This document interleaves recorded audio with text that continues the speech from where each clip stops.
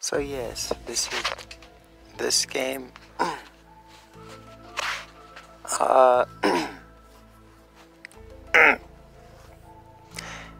and there's uh this one.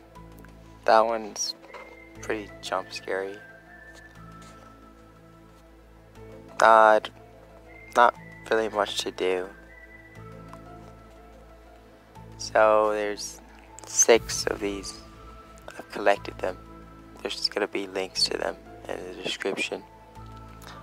I'm gonna try to collect as many as possible because I don't really know a lot about these types of games. But it seems interesting. Uh, so I'm, I'm gonna find a bunch. Yeah, it's a long process, but I'll get around to it. Yeah,